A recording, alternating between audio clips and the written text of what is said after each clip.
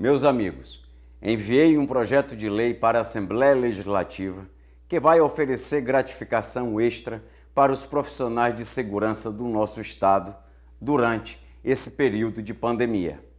Esse projeto é um reconhecimento ao trabalho dos heróis da segurança que, junto com os heróis da saúde, têm desempenhado um trabalho fundamental na luta para salvar vidas contra a Covid-19. A todos os profissionais de segurança do nosso Estado, meu reconhecimento e meu muito obrigado.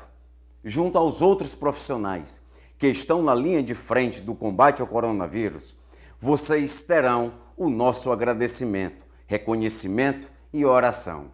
A todos os cidadãos do Estado, fica o apelo para que façamos também a nossa parte e não deixamos que os esforços de médicos, profissionais de segurança, profissionais da limpeza e outros profissionais de serviços essenciais sejam em vão.